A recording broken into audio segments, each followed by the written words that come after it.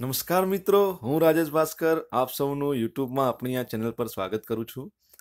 મિત્રો, આજે આપણે તારીખ અગિયાર ફેબ્રુઆરી બે હજાર ઓગણીસના કેટલાક મોસ્ટ આઈએમપી કરંટ અફેર વિશે ચર્ચા કરીશું, જે આપને આવનારી પરીક્ષામાં ખૂબ જ ઉપયોગી સાબિત થઈ શકશે. તો આપ ચર્ચા સાથે જોડાઈ રહેજો અને વિડીયોને પૂરેપૂરો જોવાનો આગ્રહ રાખજો. તેમજ મિત્રો, મારા આજના આ વિડીયોની તેમજ અગાઉના બધા જ વિડીયોની પીડીએફ ફાઇલ તમને મારી ટેલિગ્રામ ચેનલ પરથી મળી રહેશે. જેની લિંક નીચે ડિસ્ક્રિપ્શનમાં આપેલી છે. સાથે સાથે મિત્રોને જણાવવાનું કે જે મિત્રો હજુ સુધી મારી ચેનલને સબસ્ક્રાઇબ ના કરી હોય તે લોકો સબસ્ક્રાઇબ કરી લેજો અને બાજુમાં આવેલ નોટિફિકેશન બેલ આઇકોનને પ્રેસ કરી દેજો. જેથી કરીને હું જ્યારે પણ નવો વીડિયો અપલોડ કરું તેની માહિતી સૌથી પહેલાં તમારી સુધી પહોંચી જશે. તો મિત્રો, ચાલો શરૂ કરીશું. હાલમાં ક્યાંની કોર્ટે હિન્દીને ત્રીજી સત્તાવાર ભાષાનો દરજ્જો આપ્યો છે? હાલમાં ક્યાંની કોર્ટે હિન્દીને ત્રીજી સત્તાવાર ભાષાનો દરજ્જો આપ્યો છે? તો જવાબ છે અબુધાબી કોર્ટે. મિત્રો, જે અબુધાબી છે, ત્યાંની કોર્ટે હિન્દી આપણી જે રાષ્ટ્રભાષા છે, તેને ત્રીજી સત્તાવાર ભાષાનો દરજ્જો આપ્યો છે. એટલે કે અબુધાબીની કોર્ટમાં અરબી અને અંગ્રેજી ભાષાને સત્તાવાર ભાષાનું સ્થાન મળેલું જ છે. તેમજ તેમાં હિન્દી ભાષાને પણ સામેલ કરવામાં આવી છે અને હિન્દીને ત્રીજી સત્તાવાર ભાષાનું સ્થાન આપ્યું છે. મિત્રો અબુધાબીએ ન્યાય અબુધાબીના ન્યાયતંત્રએ આ નિર્ણયને ન્યાયમાં પારદર્શિકતા લાવવા માટે કર્યો છે. જે ન્યાયમાં પારદર્શિકતા હોય તેના લાવવા માટે તેમણે હિન્દીને ત્રીજી સત્તાવાર ભાષાનો દરજ્જો આપ્યો છે. હવે અબુધાબી વિશે વાત થઈ છે, તો અબુધાબી એ ક્યાંનું પાટનગર છે? ક્યાંની રાજધાની છે? તો તે છે યુએઈની. યુએઈ એટલે કે યુનાઇટેડ આરબ એમિરાટ્સ. અને ત્યાંની કરન્સી શું છે? તો ત્યાંની કરન્સી છે દિરહામ. મિત્રો, આ ખૂબ ઇમ્પોર્ટન્ટ સવાલ છે, કેમ કે કોમ્પિટેટિવ એક્ઝામમાં દેશોની કરન્સી પૂછતા હોય છે, તો આ તમારે યાદ રાખવું, પૂછાવાની શક્યતા છે.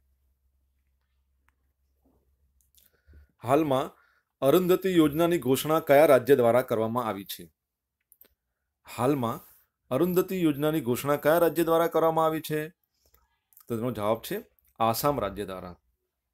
મિત્રો, આસામ રાજ્યએ અરુંધતી યોજનાની ઘોષણા કરી છે, જે અંતર્ગત જે ગરીબ છોકરીઓ હોય તેના લગ્નમાં એક તોલું સોનું આપવામાં આવશે. તો આસામની સરકારે ગરીબ લગ્નોના ગરીબ છોકરીઓના લગ્નમાં એક તોલું સોનું આપવાની જાહેરાત કરી છે. એક તોલું સોનું એટલે કે દસ ગ્રામ સોનું. તો આસામ વિશે વાત થઈ છે, તો મિત્રો તમને ખ્યાલ હોવો જોઈએ કે આસામમાં રાષ્ટ્રીય ઉદ્યાન આવેલો છે, જેનું નામ છે કાજીરંગા રાષ્ટ્રીય ઉદ્યાન. તો જે કાજીરંગા રાષ્ટ્રીય ઉદ્યાન છે, તે આસામમાં આવેલો છે. તો એ શાના માટે પ્રખ્યાત છે? કાજીરંગા રાષ્ટ્રીય ઉદ્યાન છે તે એક શિંગડાવાળા ગેંડા માટે પ્રખ્યાત છે. જે એક શિંગડાવાળો ગેંડો હોય છે, તેના માટે આ કાજીરંગા રાષ્ટ્રીય ઉદ્યાન પ્રખ્યાત છે. તો આસામ વિશે બીજી ચર્ચા આપણે કરીએ કે આસામનું પાટનગર છે, દિસપુર.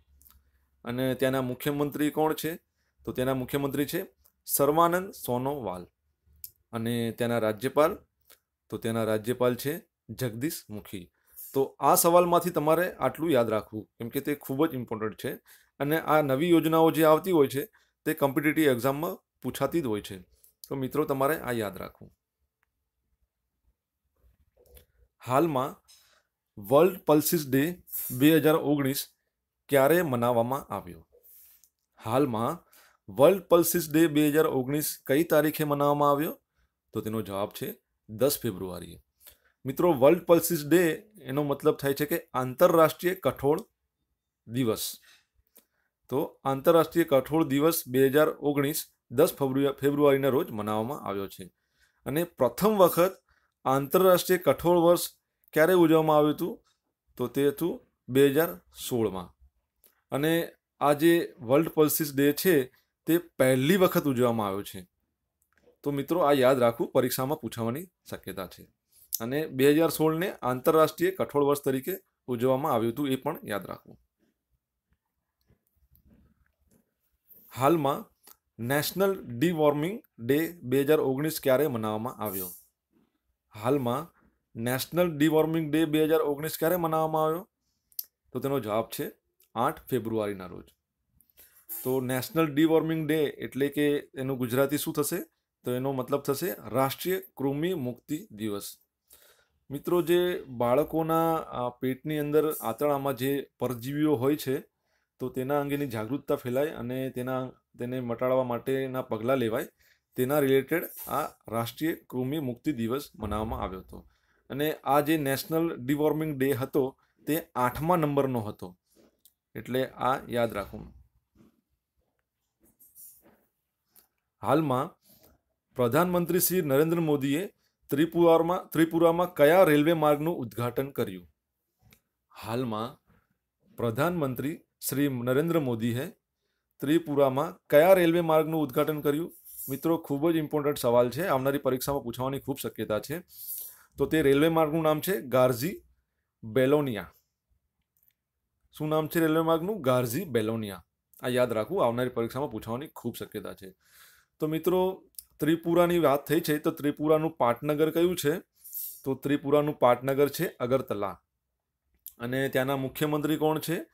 તો તેના મુખ્યમંત્રી છે બિપ્લબ કુમાર દેબ યાદ રાખો મિત્રો, કેમ કે ત્રિપુરા આસામને આ જે પૂર્વ રાજ્યો છે, ત્યાંના મુખ્યમંત્રીઓ, રાજ્યપાલ અને રાજધાની, મતલબ પાટનગર, તે બધું ખૂબ પૂછાતું હોય છે ને?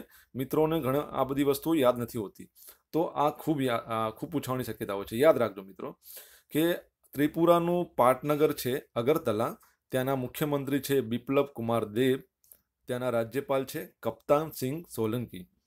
તો આ સવાલમાંથી તમારે આટલી બાબતો યાદ રાખવી, જે આવનારી પરીક્ષામાં પૂછવાની શક્યતા છે. હવે મિત્રો આપણે ગઈકાલે પૂછેલા કેટલાક સવાલોના જવાબો જોઈ લઈએ. તો પ્રથમ સવાલ છે, સંજાણ કયા જિલ્લામાં આવેલું છે? સંજાણ કયા જિલ્લામાં આવેલું છે? તેનો જવાબ છે, વલસાડ. મિત્રો, આ સંજાણમાં પારસીઓ સૌથી પહેલે, પહેલાં ઉતર્યા હતા. એટલે એના રિલેટેડ આપણે ગઈકાલે સવાલ બનાવ્યો હતો. તો તેનો જવાબ છે વલસાડમાં. બીજો સવાલ છે, પાટણ જિલ્લાના કુલ કેટલા તાલુકાઓ છે અને કયા કયા? તો આપણે ગઈકાલે જે સવાલ પૂછ્યો હતો તે હતો કે સરસ્વતી પાટણ કઈ નદીના કિનારે છે? તો સરસ્વતી નદીના કિનારે. અત્યારનો સવાલ છે, પાટણ જિલ્લાના કુલ કેટલા તાલુકાઓ છે અને કયા કયા છે? તો પાટણ જિલ્લામાં કુલ નવ તાલુકાઓ છે. તો જે કયા છે તે નીચે જોઈ લઈએ. એક છે પાટણ પોતે જ, બીજું છે સાંતલપુર, ત્રીજું છે રાધનપુર, ચોથું છે સમી પાંચમું ચાણસમાં, છઠ્ઠું હારીજ, સાતમું સિદ્ધપુર, આઠમું શંખેશ્વર અને નવમું છે સરસ્વતી. ટોટલ નવ તાલુકાઓ છે. ત્રીજો સવાલ. બંસી વર્મા શાના માટે જાણીતા છે. જે બંસી વર્મા છે, જેમનું ઉપનામ છે ચકોર. તેઓ શેના માટે જાણીતા છે? તેમનો વ્યવસાય શું છે? તો તેઓ કાર્ટૂન દોરા માટે જાણીતા છે. તેઓ જાણીતા કાર્ટુનિસ્ટ છે. ત્રીજો ચોથો સવાલ. હાલના સુપ્રીમ કોર્ટના મુખ્ય ન્યાયમૂર્તિ કોણ છે? મિત્રો, આ સવાલ આવનારી પરીક્ષામાં પૂછવાની શક્યતા છે જ, કેમ કે આવા સવાલો પૂછાતા જ હોય છે. તો હાલના સુપ્રીમ કોર્ટના મુખ્ય ન્યાયમૂર્તિ કોણ છે? તેનો જવાબ છે રંજન ગોગાઈ. જેઓ છેતાલીસમાં નંબરના મુખ્ય ન્યાયમૂર્તિ છે. મિત્રો, હવે આજે આપણે અગાઉની પરીક્ષામાં પૂછાયેલા કેટલાક પ્રશ્નો જોઈ લઈએ. તે પ્રશ્નોના જવાબો પરથી આપણે બીજા પ્રશ્નો બનાવ્યા છે, જેના જવાબો મિત્રોએ મને કમેન્ટ બોક્સમાં આપવાના છે. પહેલો સવાલ છે, સાબરમતી આશ્રમનું મૂળ નામ શું હતું? સાબરમતી આશ્રમનું મૂળ નામ શું હતું?